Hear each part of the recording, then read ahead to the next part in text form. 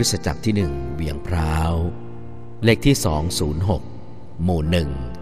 ตำบลเวียงอำเภอพร้าว จังหวัดเชียงใหม่ ขอเชิญคุณผู้ฟังติดตามรับฟัง บทภาวนาธรรมห้องชั้นบน เรื่อง สู้กับความสงสัย ผู้เขียนบทภาวนาธรรมตอนนี้ คือคุณทอมดิวรี่ จากโคโลราโด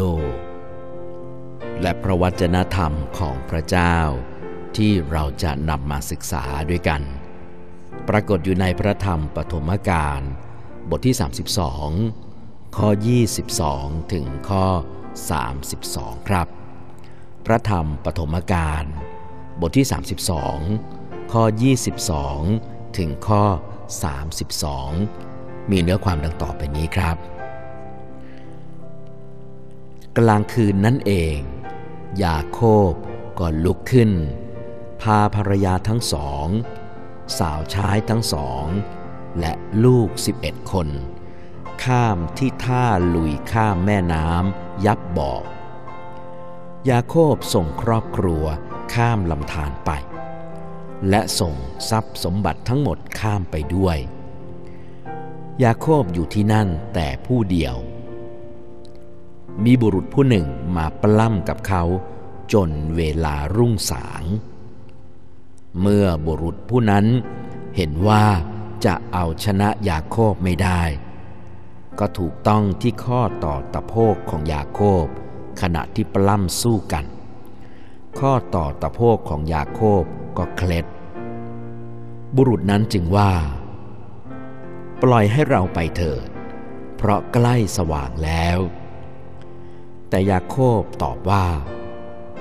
ข้าพเจ้าไม่ยอมให้ท่านไป นอกจากท่านจะอวยพรแก่ข้าพเจ้า บุรุษผู้นั้นจึงถามยาโคบว่า เจ้าชื่ออะไร ยาโคบตอบว่า ข้าพเจ้าชื่อยาโคบ บุรุษนั้นจึงว่า เขาจะไม่เรียกเจ้าว่ายาโคบอีกต่อไป แต่จะเรียกว่า อิสราเอล เพราะเจ้าต่อสู้กับพระเจ้า และมนุษย์และได้ชัยชนะ ยาโคบจึงถามบุรุษผู้นั้นว่า ขอท่านบอกข้าพเจ้าว่า ท่านชื่ออะไร แต่บุรุษนั้นกล่าวว่าเหตุไหนเจ้าจึงถามชื่อเรา แล้วก็อวยพรยาโคบที่นั่น ยาโคบ จึงเรียกสถานที่นั้นว่า เปนีเอล กล่าวว่า เพราะข้าพเจ้าได้เห็นพระพักพระเจ้า แล้วยังมีชีวิตอยู่ เมื่อยาโคบผ่านเปนูเอล ดวงอาทิตย์ขึ้นแล้ว เขาเดินขยโยกขยเยก เพราะเจ็บตะโพกเหตุนี้คนอิสราเอลจึงไม่กินเส้นเอ็นที่ตะโพก ซึ่งอยู่ที่ข้อต่อตะโพกนั้น จนทุกวันนี้ เพราะพระองค์ทรงถูกต้องข้อต่อตะโพกของยาโคบ ตรงเส้นเอ็นที่ตะโพก และผมจะขออ่านพระวจนะธรรมในพระธรรมปฐมกาลบทที่ 32 ข้อ 28 อีกครั้งหนึ่งครับ ซึ่งมีความว่า บุรุษนั้นจึงกล่าวว่า เขาจะไม่เรียกเจ้าว่ายาโคบต่อไป แต่จะเรียกว่าอิสราเอล เพราะเจ้าต่อสู้กับพระเจ้าและมนุษย์ และได้ชัยชนะ ต่อไปนี้เป็นเนื้อความของบทภาวนาธรรม ห้องชั้นบน เรื่อง สู้กับความสงสัย ผมกลั้นน้ำตา ไม่ให้ไหล ขณะนั่งอยู่บนเก้าอี้ยาวในสวนสาธารณะ ผมมั่นใจว่า ได้ถวายชีวิตกับพระเจ้า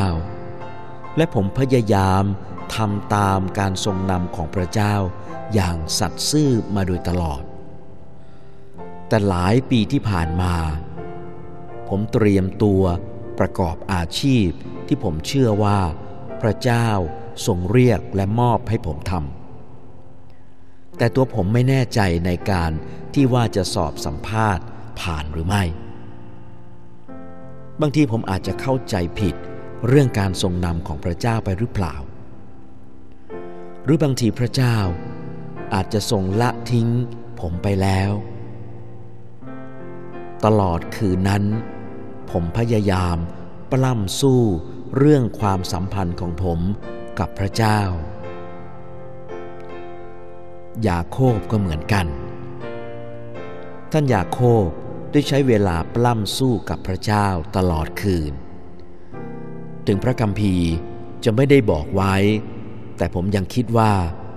ท่านยาโคบคงจะวิตกกังวลเกี่ยวกับความสัมพันธ์ของเขากับพระเจ้าด้วยเช่นกัน เพราะว่าท่านยาโคบนั้นได้กอบโกยความมั่งคั่ง ความร่ำรวย แถมยังใช้เล่กล หลอกชิงเอาสิทธิบุตรหัวปีจากพี่ชายของเขา และในคืนที่สองพี่น้องจะได้กลับมาคืนดีกันนั้น ยาโคบเขากลัวมาก เพราะเขาไม่รู้ว่าพี่ชายเอสาวนั้น จะยอมรับท่านได้แบบไหน พอถึงรุ่งสางทูตสวรรค์ก็อวยพร ให้ตามที่ยาโคบขอ โดยสัญญาว่า เขาจะไม่เรียกเจ้าว่ายาโคบอีกต่อไป แต่จะเรียกว่า อิสราเอล เพราะเจ้าสู้กับพระเจ้าและมนุษย์ และได้ชัยชนะ คุณผู้ฟังครับ สถานการณ์ชีวิตของท่านยาโคบไม่ได้เปลี่ยนแปลงไป พี่ชาย ก็ยังยอมมาพบกับท่าน แต่ตัวของยาโคบนั่นแหละ ที่ได้รับการเปลี่ยนเป็นคนใหม่ และในคืนนั้นหลังจากที่ผมปล้ำสู้กับพระเจ้า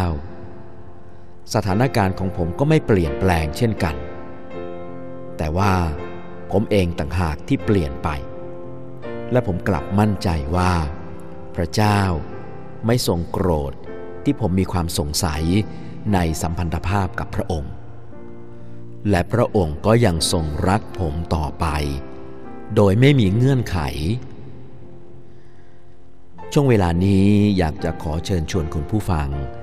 ได้ใช้เวลาสงบใจ ภาวนา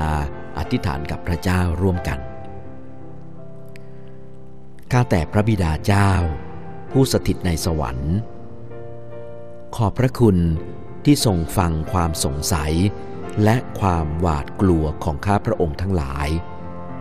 และที่ได้ส่งให้ข้าพระองค์ทั้งหลาย กลับมีความมั่นใจ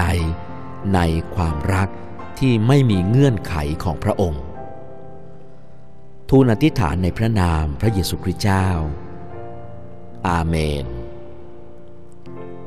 เป้าหมายของคำอธิษฐานในตอนนี้ อธิษฐานเผื่อ ผู้ที่กำลังหางานทำผ่านไปแล้วครับคุณผู้ฟังสำหรับบทภาวนาธรรม ห้องชั้นบน เรื่อง สู้กับความสงสัย และพระวจนะธรรมของพระเจ้า ในพระธรรมปฐมกาลบทที่ 32 ข้อ 22 ถึงข้อ 32 ครับ ซึ่งเป็นเรื่องราว เป็นเหตุการณ์ตอนที่ท่านยาโคบกำลังเดินทางกลับไป และในระหว่างทางกำลังจะต้องเผชิญหน้ากับพี่ชายคือเอสาว ผู้ซึ่งท่านยาโคบได้ใช้เล่กล ร่วมกับแม่ของท่านนั้นได้โกงเอาสิทธิ์บุตรหัวปีไปจากเอสาวทำให้ยาโคบได้รับการอวยพร และก็เอสาวนั้นเป็นผู้ที่ได้รับคำ แช่งสาบจากบิดาของท่าน คุณผู้ฟังครับ เป็นการต่อสู้ในจิตใจเป็นวิธีการมากมายที่ยาโคบได้กระทำเพื่อที่จะเอาตัวรอด เพื่อที่จะได้รับการอภัยโทษจากพี่เอสาว แต่อย่างไรก็ตาม ถ้าเราอยู่ในสถานการณ์เดียวกันของยาโคบนั้น หัวใจคงเต้นไม่เป็นจังหวะแน่นอนนะครับ เพราะว่าเรากลัวว่าพี่ชายจะรับได้ไหม พี่ชายจะอภัยให้ไหม แล้วเจอกันแล้วเนี่ยเขาจะฆ่าเราไหม เพราะว่าเวลานี้กำลังเข้ามาในถิ่นของเอสาว ขอบคุณพระเจ้ายาโคบได้ต่อสู้กับความรู้สึกของตัวเอง และต่อสู้ว่าพระเจ้ายังอยู่กับเขาไหม สงสัยในความสัมพันธภาพที่เขามีต่อพระเจ้า และที่พระเจ้าทรงสัญญากับท่าน แต่การต่อสู้ของยาโคบนั้นออกมาในทางกายภาพเลย เพราะว่ามีบุรุษผู้หนึ่ง ในพระคัมภีร์ได้บันทึกไว้ ว่าเป็นบุรุษผู้หนึ่งมาต่อสู้กับยาโคบจนใกล้สว่างเลย สุดท้ายก็ขอยุติการต่อสู้และก็ชัยชนะเป็นของยาโคบซึ่งผลจากการต่อสู้นั้น เขาได้รับการอวยพร ซึ่งเราก็เข้าใจว่านั่นคือ เขาต่อสู้กับพระเจ้า และพรที่เขาได้รับนั้นเป็นพรของพระเจ้า แสดงว่าชีวิตของเราคุณผู้ฟัง ในยามที่เรากำลังต่อสู้ ทบทวนความสัมพันธภาพของเรา ว่าแท้ที่จริงเราเนี่ยสัมพันธภาพกับพระเจ้าใกล้ชิดจริงหรือเปล่า พระเจ้าอยู่กับเราไหมทบทวนชีวิตของเรา เป็นการต่อสู้คล้ายๆ อยากโคบเช่นกัน แต่ผลของการต่อสู้ถ้าเราไม่ยอมแพ้ ถ้าเราต่อสู้อย่างเอาจริงเอาจังท้ายที่สุดพระเจ้าจะทรงโปรด อวยพระพรเรา และชัยชนะจะอยู่กับเรา และผู้ที่มีชัยชนะนั้น ก็จะเป็นผู้ที่ติดตามพระเจ้า เป็นผู้ที่พระเจ้าทรงอวยพระพรแน่นอน ขอบคุณพระเจ้าครับ ผมหวังว่าข้อคิดของการต่อสู้ของท่านยาโคบ ที่ท่านต่อสู้กับบุรุษ ซึ่งเราเข้าใจว่าเป็นพระเจ้านั้นทำให้ท่านได้รับพระพรและได้รับการคืนดีการอภัยโทษจากเอสาว และนอกจากนั้นท่านก็ยังกลายเป็นผู้ที่ได้รับชื่อใหม่ และเป็นบรรพบุรุษ เป็นต้นตระกูลของชนชาติอิสราเอล ได้ชื่อใหม่ว่าอิสราเอล เพราะเขาสู้กับพระเจ้า และสู้กับมนุษย์ และก็ได้ชัยชนะ เห็นไหมครับคุณผู้ฟัง ถ้าเรายอมแพ้ตั้งแต่ต้น ไม่เอาแล้ว ไม่กลับบ้านแล้วไม่เผชิญหน้าแล้วหนีดีกว่า คิดว่าเราจะได้รับพรหรือเปล่า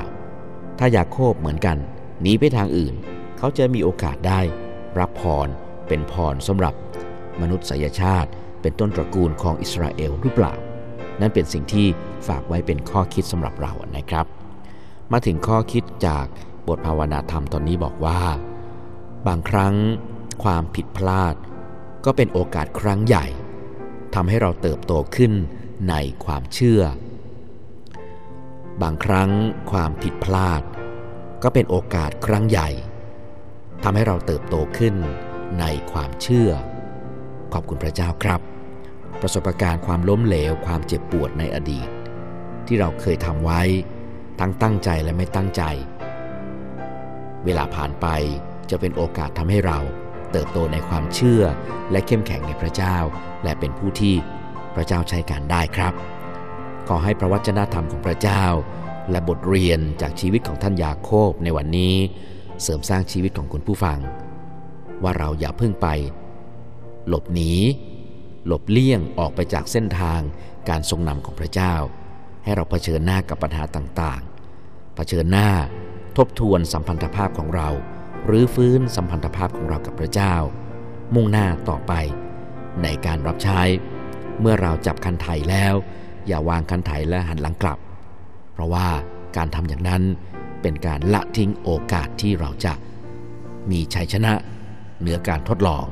เหนือบทเรียน บทพิสูจน์ชีวิตของเรา แต่เราจับคันไถแล้วเดินหน้าต่อไป พระเจ้าทรงอวยพระพรและพอพระทัยที่จะใช้เราให้เราเกิดผลอย่างมากมายครับ คริสตจักรที่หนึ่งเวียงพร้าวขอเป็นกำลังใจ และขอให้บทภาวนาธรรมห้องชั้นบนนี้ เป็นพรสำหรับคุณผู้ฟังทุกท่าน และขอบคุณคุณผู้ฟังที่ได้กรุณาถวายทรัพย์เข้ามา สนับสนุนพันธกิจของหอพักเด็กบ้านพระคุณ ของคริสตจักรกันอย่างสม่ำเสมอ และขอทรงโปรด อธิษฐานเผื่อ ซึ่งกันและกันต่อไปในการรับใช้พระเจ้าในทุกๆทที่ที่เราอยู่ร่วมกัน ผมขอนำบทภาวนาธรรมห้องชั้นบนตอนนี้อำลาคุณผู้ฟังไปด้วยเวลาเพียงเท่านี้ครับ จนกว่าเราจะกลับมาพบกันใหม่ สวัสดีครับ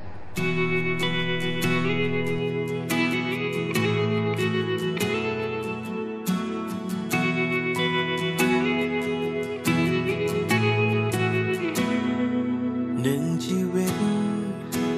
ที่พระเจ้าให้มา เราคงไม่รู้ว่า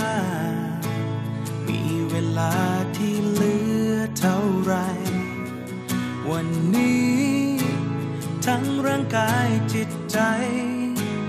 ฉันมอบทั้งหมดไว้ให้กับพระองค์ แบกกังเขน มันไม่เคยง่ายได้มันคืองานยิ่งใหญ่ ที่พระองค์มอบไว้